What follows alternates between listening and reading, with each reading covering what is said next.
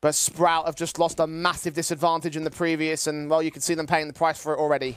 And just when they start with pace out there towards Banana, it doesn't work out at all. The util just hits them so hard. rallen backs up the AWPer, and it's another multi-frag sequence coming through from rallen. Yes, it might only be up against Eco Pistols, but they want to try and put pressure onto Crucial, and instead they've just run straight into rallen. zyphon takes one headshot back.